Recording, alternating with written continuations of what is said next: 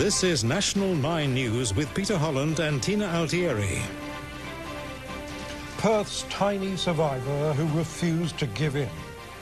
Passengers in a terrifying airport emergency. And another price slug on petrol, beer and cigarettes.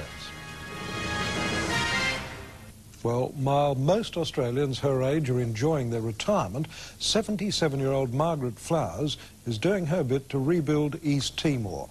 She's playing a crucial role in the tiny country's future by helping to educate the next generation. Hugh Riminton has the story.